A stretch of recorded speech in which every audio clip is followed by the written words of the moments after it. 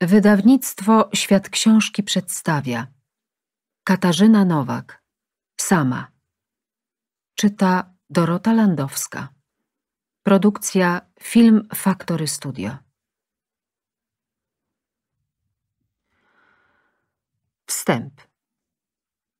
Książkę tę dedykuję wszystkim skrzywdzonym, którzy jeszcze nie znaleźli w sobie sił do walki o sprawiedliwość.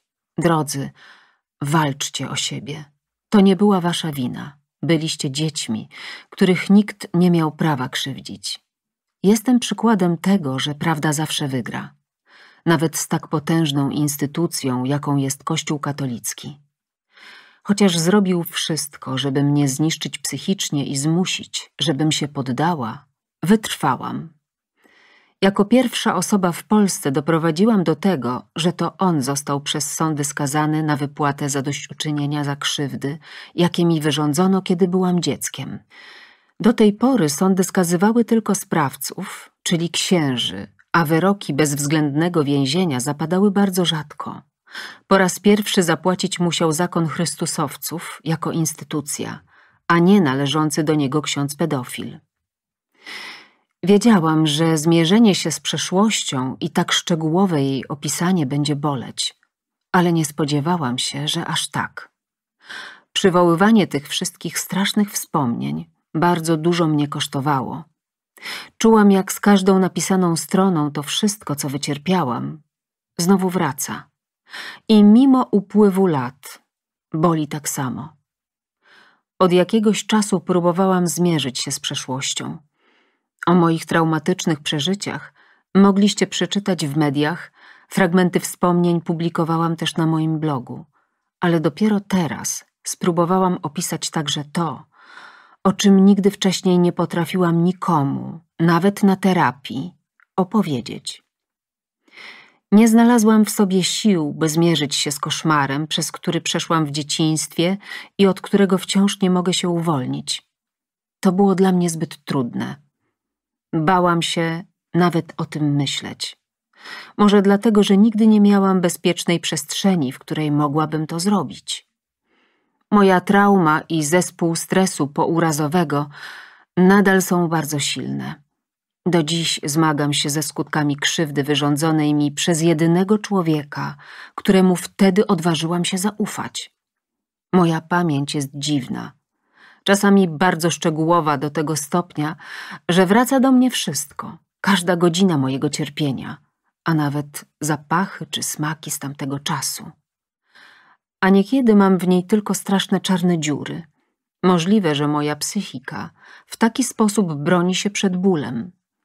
Możliwe, że wymazanie tych najgorszych lat mojego życia jest potrzebne, żebym w ogóle mogła żyć dalej. Możliwe, że kiedyś tę pamięć stracę. Nie wiem przecież, jakie mogą być kolejne konsekwencje tej krzywdy, którą wyrządził mi ksiądz Roman. Możliwe, że pojawią się kolejne choroby, które odbiorą mi możliwości opisania wszystkiego ze szczegółami. Dlatego zdecydowałam się opowiedzieć moją historię. Dopóki jestem w stanie to zrobić. W książkę wplotłam fragmenty mojego bloga. Wiele wpisów oddaje stan, w jakim się znajdowałam przed wieloma miesiącami, kiedy po raz pierwszy próbowałam opisać to, przez co przeszłam. Notowałam strzępy wspomnień, snów, w których wracały koszmary z przeszłości i przemyślenia o tym, co działo się w czasie procesu, a także później, kiedy po wygranej w sądach stałam się obiektem ataków. Czułam wtedy upokorzenie, wściekłość, ból, które musiałam z siebie wyrzucić.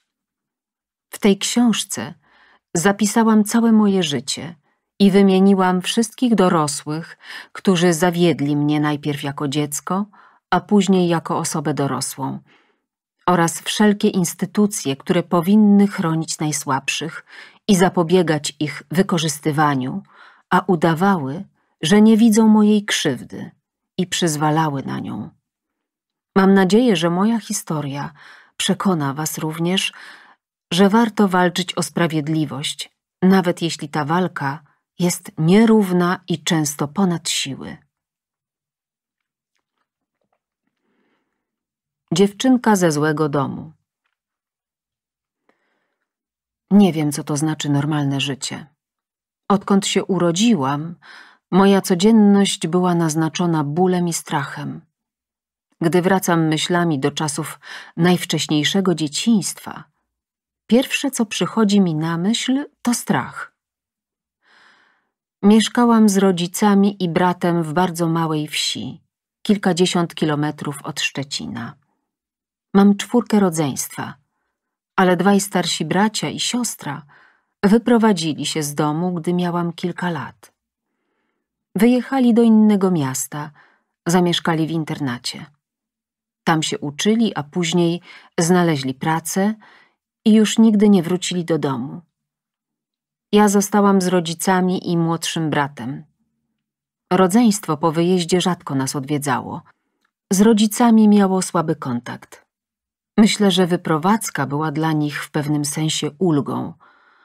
Oczywiście nie było im łatwo, bo weszli w dorosłe życie wcześnie, zupełnie sami, bez jakiejkolwiek pomocy ze strony rodziców. I to było bez wątpienia bardzo trudne. Jednak miało tę zaletę, że nie musieli już przebywać w domu pełnym awantur i przemocy. Tak, rodzice są niestety uzależnieni od alkoholu. Nie jest mi łatwo o nich pisać, bo chociaż dziś wiem, że to przez nich miałam tak trudne życie, kocham ich nadal. Kocham i nienawidzę jednocześnie. Nie potrafię wybaczyć im tego, co musiałam wycierpieć w domu rodzinnym, ale również, a może przede wszystkim tego, że zgodzili się, żeby ksiądz mnie z tego domu zabrał i potem praktycznie nie interesowali się moim losem. To, co do nich czuję, to jest miłość przeplatana nienawiścią i żalem, ale mimo wszystko nadal w tych moich złożonych uczuciach przeważa miłość. Miłość dziecka do rodzica, jakikolwiek by on był. Z upływem czasu do tych uczuć doszła jeszcze litość. Jest mi ich bardzo żal, współczuję im, bo teraz wiem, że są chorzy. Piszę chorzy, bo alkoholizm to choroba. Niestety moi rodzice całe życie wypierali swój nauk. Zresztą do dziś to robią. Nigdy się nie przyznali, że piją, a wszelkie komentarze na ten temat odbierali jako atak na nich. Mam żal, że nigdy nie podjęli leczenia, choć ich o to wielokrotnie prosiłam. Wiem, że wychowali się w ciężkich warunkach, że pochodzą z domów pełnych przemocy i są nieudolni życiowo. Mama wcześniej straciła rodziców. Została z piątką dzieci bez żadnej pomocy. Tata miał ojca tyrana. Babcia sypiała na stojąco za szafą, chowając się przed dziadkiem, który również był alkoholikiem i przemocowcem. Bił tatę do krwi. Kiedyś próbował go powiesić. Zdarzało się, że mój tato, gdy był małym chłopcem, musiał uciekać przed własnym ojcem z domu i spędzał noce pod kościelnym murem. Wiem, że mieli straszne dzieciństwo. Nie pojmuję jednak, dlaczego powielili te schematy, zamiast je odwrócić, zapewnić swoim dzieciom lepsze życie niż sami mieli. Niestety nie zrobili nic, by przerwać tę spiralę pijaństwa i przemocy. Nie chcę ich oczerniać, tylko pokazać, z czym musiałam się mierzyć, będąc dzieckiem dwojga alkoholików. U mnie nie było tak, jak czasem bywa w innych domach, że pije jeden rodzic, na przykład ojciec, i dziecko ma bezpieczną przystań w mamie. Ja nie miałam jej w nikim. 2 lipca 2019 Jak to jest być kochanym? Nie wiem. Nie potrafię tego porównać, bo nie mam do czego. Nigdy nie byłam kochana. Nie znam miłości rodzicielskiej, rodzinnej, w sumie chyba żadnej. Nie wiem, co to jest. Nigdy tego nie doświadczyłam. Nigdy rodzice mnie nie przytulili, nie powiedzieli, że kochają. Nigdy nie miałam zapewnionego poczucia bezpieczeństwa. Jedynie mogę powiedzieć, jak to wyglądało u moich koleżanek. Zawsze im tego zazdrościłam, Kiedy widziałam, jakie mają relacje z rodzicami, z rodzeństwem, jak dobrze się uczą, że mają wszystkie przybory do szkoły, ładne mieszkania, fajne ciuchy, że mają co jeść i co najważniejsze, że rodzice je kochają, nie piją, nie biją i nie robią awantur. Rodzice od zawsze uznawali mnie za wroga, bo chowałam im butelki z alkoholem, żeby nie pili. Byłam złym dzieckiem, które według nich przesadzało. Pili od kiedy pamiętam. Mieli wielodniowe ciągi i często pod wpływem alkoholu demolowali mieszkanie. Niszczyli nawet ściany. Mama kiedyś kupiła nowe meble i tata już następnego dnia pociął je piłą. Mama też, gdy była w ciągu, potrafiła wyrzucić wszystko z domu do ogródka. Mnie szarpała, biła, wyzywała od najgorszych. Mówiła, że ja i brat jesteśmy znajdami. Tata twierdził, że jesteśmy źli i nie możemy być jego dziećmi. Pamiętam te wszystkie tragiczne noce, kiedy siedziałam ukryta pod kołdrą i trzęsłam się ze strachu, bo oni znów demolowali dom i się bili. To powtarzało się przez wiele lat. Praktycznie przez wszystkie, które spędziłam w domu rodzinnym. Mama wołała pomocy, ratunku, a ja nie wiedziałam, co mam robić. Byłam tylko małą, przerażoną dziewczynką. Jednak mimo strachu czułam, że muszę jakoś ją obronić. Bili się zawzięcie. Obydwoje często byli pocięci, podrapani, jednak to tata był silniejszy i to głównie on okropnie znęcał się nad mamą. Zawsze wkraczałam, próbowałam go odciągnąć, ale nie zawsze się udawało. Potrafił odepchnąć mnie tak mocno, że bałam się podejść drugi raz. Wtedy tylko krzyczałam albo wzywałam policję. Tata bił mamę strasznie. Często leżała na podłodze cała zakrwawiona. Zwykle ona też była wtedy pijana. Kiedy miała więcej siły, biegła z nożem do taty i nieraz go tym nożem skaleczyła. Raz tata pobił mamę tak, że gdy weszłam do domu, to jej nie poznałam. Miała spuchniętą całą twarz, podbite oczy, złamany nos. Trudno wtedy było powiedzieć, że to twarz. Był to koszmarny widok. Nigdy go nie zapomnę. Pamiętam, jak mama pewnej zimy po pijaku złamała nogę i nosiła gips. Pamiętam, jak musiała uciekać przed tatą z domu i chodziła po wsi z tym gipsem mimo mrozu na dworze. Zdarzało się i tak, że gdy wracałam do domu, to taty nie było. Mama spała pijana w pokoju, a na podłodze między pokojami leżał sąsiad, pan Rafał. Nie lubiłam go, bo gdy przychodził, to wiadomo było, że będą pić. Leżał nieprzytomny, a ja bałam się przejść obok niego. Musiałam wyjść z domu i czekać kilka godzin na placu zabaw, aż wytrzeźwieje i sobie pójdzie. Któregoś wieczoru ten sąsiad pił z tatą w kuchni. Był bardzo pijany. Ja już byłam wykąpana, miałam na sobie taką białą halkę. W pewnym momencie sąsiad zaczął się dziwnie zachowywać, jakby miał jakieś halucynacje. Widział we mnie inną osobę. Wykrzykiwał coś i zaczął mnie gonić. Byłam przerażona, zaczęłam płakać i uciekłam na podwórko. A kiedy zobaczyłam, że on też wyszedł, schowałam się do obórki i przesiedziałam tam całą noc. Była wtedy mroźna zima. Potwornie marzłam, ale bałam się wrócić do domu. Miałam wtedy z sześć, najwyżej osiem lat. 1 grudnia 2019. Jeden z wielu dni. Pamiętam, jak nadszedł grudzień. Jako dziecko bardzo cieszyłam się ze świąt, mimo że prawie wszystkie w moim domu były pełne płaczu i przemocy, bo dla rodziców był to kolejny powód do napicia się. To jakoś w tej swojej dziecięcej głowie zawsze sobie myślałam, że może akurat w te święta się nie napiją, albo że przyjedzie ktoś z rodziny i to ich powstrzyma. Więc zawsze miałam nadzieję, że może akurat te będą fajne. takie jak u innych, takie jakie widziałam u sąsiadów w mojej rodzinnej miejscowości przez okna.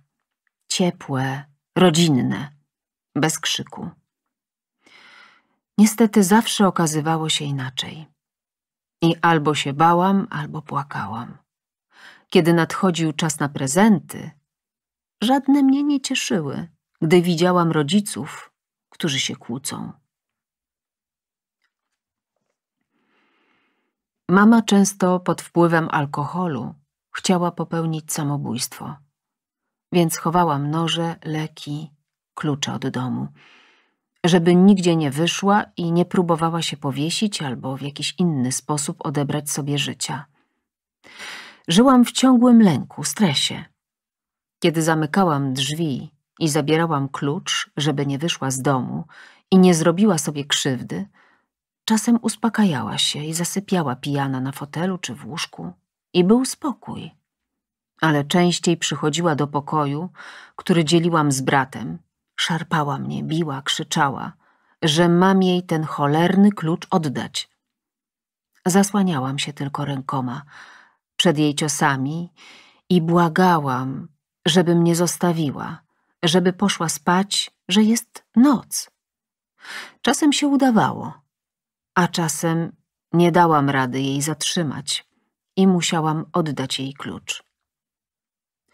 Tata z mamą nienawidzili się od zawsze, ale nigdy się nie rozeszli. Przez większość życia pili osobno, ukrywając alkohol przed sobą nawzajem. Tę nienawiść okazywali od kiedy pamiętam. Tata po alkoholu nie tylko robił się agresywny, ale też zachowywał się bardzo dziwnie. Słyszał różne głosy, uważał, że ktoś go prześladuje albo podsłuchuje. Bałam się spać, kiedy wpadał w takie stany, bo potrafił wielokrotnie w ciągu nocy wchodzić do mnie do pokoju i mówić różne dziwne rzeczy, albo widział we mnie kogoś, kim nie byłam. Na przykład zwracał się do mnie jak do policjanta. Bardzo się wtedy bałam. Wiele lat później terapeutka, której o tym powiedziałam, stwierdziła, że tata musi cierpieć na schizofrenię paranoidalną. Często awantury trwały wiele godzin. Nawet gdy pijani do nieprzytomności w końcu padali, ja nie mogłem usnąć. Musiałam spać z ojcem i trzymać go za kieszonkę koszuli, bo wtedy nie wstawał i nie bił mamy. Często całą noc grało radio, które tata włączał na cały regulator, zawsze gdy się upijał. Te noce były koszmarne, a rano musiałam wstać i iść do szkoły. Niewyspana, często brudna, bez śniadania i nieraz zapłakana. Bo gdy rano rodzice się budzili, od nowa zaczynali się kłócić między sobą i krzyczeć na nas. W szkole ja i brat byliśmy źle traktowani przez rówieśników. Uczyliśmy się słabo. Tak naprawdę nigdy nie odrabialiśmy lekcji, bo często nie mieliśmy podręczników, a w domu nie było warunków do nauki. Rodzice nie tylko nigdy nie usiedli z nami do lekcji, ale nawet nie zapewnili nam miejsca, w którym moglibyśmy te lekcje odrabiać. Zdarzało się, że ledwo zdawałam z klasy do klasy. Byliśmy zaniedbani, byliśmy gorsi i tak nas traktowano. Głównie dręczono mojego młodszego brata. Przez to, że rodzice palili papierosy, koledzy wyzywali go od śmierdzieli, bo dym wnikał w jego ubrania. Mój brat był zamknięty w sobie, bardzo słabo się uczył. Chodziłam czasem do niego na przerwie sprawdzić, czy wszystko u niego w porządku.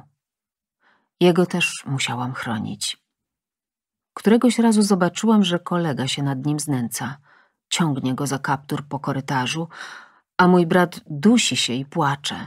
Nie wiem, co we mnie wstąpiło, ale rzuciłam się na tego chłopaka i tak go okładałam pięściami, że gdyby inne dzieci mnie nie odciągnęły, to nie wiem, jakby się to skończyło. Było mi tak bardzo żal mojego brata, że straciłam nad sobą kontrolę ale ten chłopak już więcej mojego brata nie tknął. Kiedy wracaliśmy szkolnym autobusem do naszej wsi, liczyłam drzewa, a z każdym kolejnym coraz bardziej bolał mnie brzuch, bo wiedziałam, że jestem coraz bliżej domu. Bałam się, co tam zastanę. Czy rodzice będą pijani, czy nie. Kiedy byli trzeźwi, ja byłam szczęśliwa, bo wiedziałam, że będę miała odrobinę spokoju, że nie będę musiała się martwić. W te dni, kiedy nie pili, mogłam spokojnie wyjść na podwórko albo na plac zabaw. Koleżanek nie miałam. Nikt nie chciał się ze mną zaprzyjaźnić, bo pochodziłam z domu alkoholików. Cała wieś znała moich rodziców, więc inne dzieci albo miały zakaz zabawy z nami, albo po prostu same nie chciały się z nami spotykać, bo byliśmy dla nich gorsi. Wstydziłam się zapraszać kogokolwiek do domu. Nigdy nie wiedziałam, czy akurat rodzice nie będą pijani. Poza tym żyliśmy w strasznej biedzie. Nie było łazienki, ciepłej wody. Często nie mieliśmy co jeść. Mieszkałam z bratem w jednym małym pokoju. Byłam bardzo zamkniętą, wycofaną dziewczynką. Czułam się gorsza od innych, więc zawsze chowałam się po kątach i rzadko sama wychodziłam z jakąś inicjatywą. Miałam tylko jedną koleżankę. Przyjeżdżała na niektóre weekendy do dziadków i to z nią się kolegowałam przez kilka lat. Ona wiedziała, jak wygląda sytuacja w moim domu. Nie zawsze to rozumiała, bo jej rodzice nie pili często obrażała się na mnie, że nie chcę pójść się z nią pobawić czy pojeździć na rowerze, ale jakoś trwała ta nasza znajomość. Ona jedyna przychodziła czasem do mnie do domu. Nie miałam takiego życia jak inne dzieci. Siedziałam prawie całe dnie w domu, pilnując rodziców, aby się nie pozabijali. Bałam się wychodzić, bo wiedziałam, że gdy mnie nie będzie, tata zacznie bić mamę, a oprócz mnie nikt by jej nie pomógł. Mój brat też się bał tych awantur, ale miał chyba większe zdolności do wyparcia problemów, albo jego dziecięca psychika tak działała, że potrafił od nich uciec. Pójść na wieś i się bawić. Ja nie umiałam. Rodzice, kiedy mieli ciągi, potrafili awanturować się czasami kilka dni z rzędu, i w dzień, i w nocy. Kiedy zdarzało im się wytrzeźwieć, okazywali się całkiem innymi ludźmi. Byli w stanie jakoś funkcjonować. Mama nawet gotowała obiady. Kiedy tylko się napili, wszystko diametralnie się zmieniało. W domu kończył się spokój. Rodzice pili od zawsze i od zawsze mieli złe relacje. Czasem potrafili ze sobą rozmawiać, ale tylko wtedy, kiedy byli trzeźwi. Pod wpływem alkoholu od razu zaczynały się awantury. Przybierały różną postać, jednak najgorsze było to, że prawie zawsze wtedy dochodziło do przemocy. Od razu rzucali się sobie do gardeł. Tata jako mężczyzna był silniejszy, ale i mama nie pozostawała mu dłużna. Przez wszystkie te lata, kiedy mieszkałam w domu, byłam ich ratownikiem. 23 września 2019 Tak, wiem. Nie miałam rodziców. Są, żyją, ale jakby ich nigdy nie było. W sumie nigdy nie było nikogo, komu mogłabym powiedzieć, co się dzieje, poprosić o pomoc. Nie miał kto za mną stanąć i mnie obronić. Takie dzieci najłatwiej wybrać. Ale żeby aż takie zło spotkało jedną osobę, dziecko? Za co? Rodzice byli agresywni nie tylko wobec siebie. Bili także nas. Mówili wtedy, że dostaliśmy z bratem lanie, bo sobie na to zasłużyliśmy. Jednak najwięcej bólu zadawali sobie wzajemnie. Bardzo się bałam tych awantur i tego, że coś strasznego im się stanie. Często do rodziców przychodzili różni ludzie, z którymi pili. Wróciłam kiedyś ze szkoły, a na podłodze w pokoju leżał zalany do nieprzytomności sąsiad. Bałam się przejść obok niego, więc spędziłam wiele godzin na schodach przed domem, czekając, aż on się obudzi. Rodzice też wtedy spali pijani. 5 listopada 2019 Nienawidzę rodziców za to, że zmarnowali mi dzieciństwo. Nienawidzę ich za to, że musiałam szukać pomocy u kogoś obcego.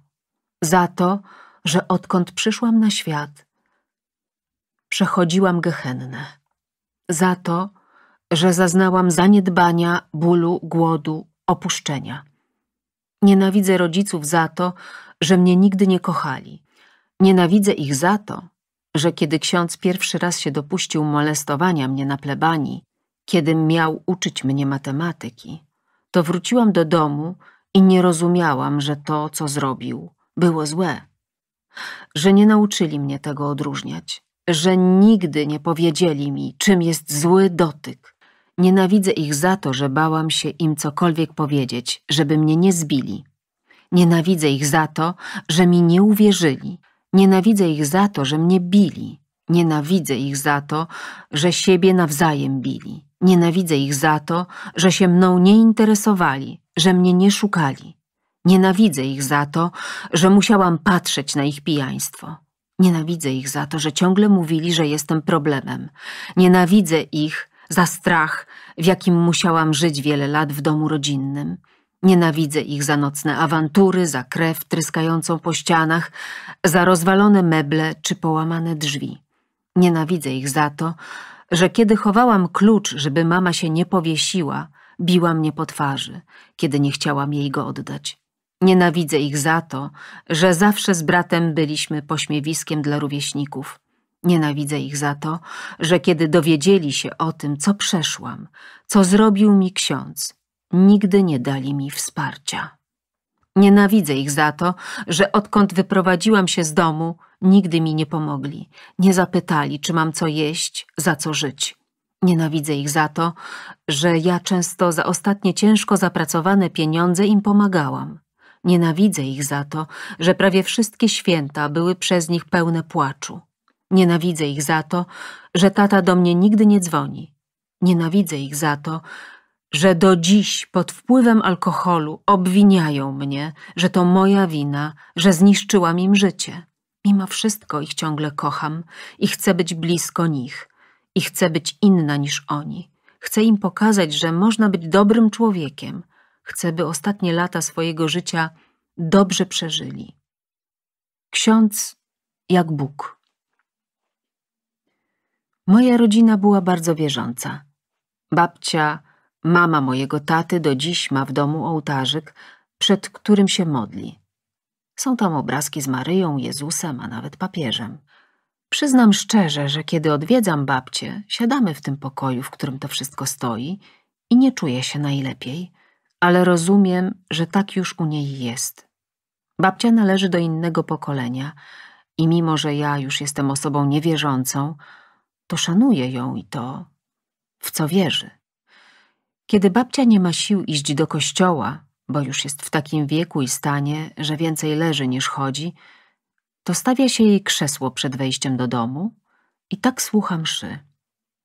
Kościelny mur zaczyna się zaledwie dwadzieścia metrów od wejścia na jej podwórze. Babcia spędziła więc całe życie jakby pod tym kościołem. Wszyscy byliśmy wychowywani w wierze. Życie na wsi wyglądało tak, że ludzie w tygodniu pracowali na polach, a w dni świąteczne ubierali się ładnie i szli na msze. Nie było ani jednego domu, z którego ktoś nie chodził do kościoła. Nie znałam w tamtym czasie nikogo, kto nie byłby wierzący. Wszyscy, moi rodzice także, zawsze przyjmowali księdza po kolędzie. Tata był jedyną znaną mi osobą, która chodziła do kościoła tylko na pogrzeby czy śluby. Ja, gdy byłam mała, Musiałam co niedzielę być na mszy, bo mama mi kazała. W domu zawsze się mówiło, że Bóg jest, a księża są równie ważni jak on sam. Od najmłodszych lat słyszałam od mamy, że jeśli coś źle zrobię, pójdę do piekła, że muszę kochać i szanować Pana Boga. Nie dopuszczała nawet myśli, że można nie pójść na pasterkę, nie przełamać się opłatkiem albo nie poświęcić jajek z okazji świąt wielkanocnych. Ponieważ w takiej rodzinie zostałam wychowana, chodziłam na msze i inne kościelne uroczystości. I wierzyłam w tego Boga. Miałam wtedy może z dziesięć lat, ale pamiętam to jak dziś. Poszłam do kościoła, uklękłam i zaczęłam się modlić. Prosiłam Pana Boga, żeby mój starszy brat i jego dziewczyna przyjechali do nas w odwiedziny, bo wtedy przez kilka dni rodzice by nie pili i byłoby fajnie. Następnego dnia oni rzeczywiście wpadli na weekend, a ja byłam bardzo szczęśliwa. Połączyłam to wtedy z tą moją prośbą i wierzyłam, że Bóg mnie wysłuchał. Bierzmowania nie mamy ani ja, ani mój młodszy brat. Kiedy moi rówieśnicy przyjmowali ten sakrament, ja byłam już osobą niewierzącą i nie chciałam mieć nic wspólnego z tą instytucją. Dlaczego bierzmowania nie ma mój brat? Nie wiem. Lata 2000-2005 to chyba był najgorszy czas w moim rodzinnym domu. Rodzice wtedy pili praktycznie non-stop. Byłam bardzo nieszczęśliwym dzieckiem i strasznie samotnym. Nigdy nikt nie zareagował na to, co się u nas dzieje, a przecież ludzie nie mogli nie wiedzieć. Musieli widzieć ojca często leżącego w jakichś rowach i mnie, jak jeżdżę rowerem po wsi i go szukam. Musieli słyszeć i widzieć alkoholowe libacje i awantury. Nie tylko nasi najbliżsi sąsiedzi mieszkający przez ścianę w drugiej połówce bliźniaka. Każdy z naszej wsi wiedział przecież, że w tym pijackim domu są dzieci. Nigdy nikt nie przejął się naszym losem, nigdy nikt nam nie pomógł. W 2005 roku poznałam księdza Romana B. Byłam wtedy w szóstej klasie szkoły podstawowej. Miałam dwanaście lat. Tego dnia religia była pierwszą lekcją. Okazało się, że będzie ją prowadził nowy ksiądz, czyli on. Siedziałam w pierwszej ławce. To był bardzo ciężki dla mnie dzień, bo w domu przez całą noc ciągnęła się awantura i po raz kolejny poszłam do szkoły niewyspana, zmęczona i zapłakana. Na lekcji byłam nieobecna myślami, bo źle się czułam. Chciało mi się na zmianę spać i płakać. Każdy pisał coś w zeszycie, a ja nie miałam na to siły, więc mój zeszyt był pusty. Kiedy lekcja dobiegła końca i wszyscy zaczęliśmy wychodzić, on zawołał mnie do biurka i powiedział, żebym jeszcze chwilę została. Zestresowałam się, bo nigdy wcześniej żaden z nauczycieli nie kazał mi zostawać na przerwie w klasie. Nie interesował się mną. On podszedł do drzwi i je zamknął, bo po wyjściu kolegów zostały otwarte na oścież i zapytał, co się dzieje. Czy dobrze się czuję, bo on widzi, że płakałam i czy może mi jakoś pomóc. Powiedziałam, że nic się nie dzieje. Mimo moich zapewnień dopytywał, a ja odpowiedziałam tylko, że źle się dzisiaj czuję i że poza tym wszystko jest okej. Okay. Zapytałam, czy mogę już iść, a on powiedział, że tak. I poszłam. Przez kilka tygodni ciągle próbował ze mną porozmawiać. Obserwował mnie na korytarzu. Podchodził do mnie i pytał, jak się czuję, czy wszystko w porządku. Tak samo było, gdy siedziałam pod klasą i czekałam na lekcję. Gdy były jakieś imprezy szkolne, widziałam, że rozgląda się, gdzie jestem. Bardzo mnie wkurzało, że za mną łazi. Któregoś razu powiedział: Mnie nie musisz się bać, jestem księdzem, nie zrobię ci krzywdy. Chcę ci pomóc, zaufaj mi.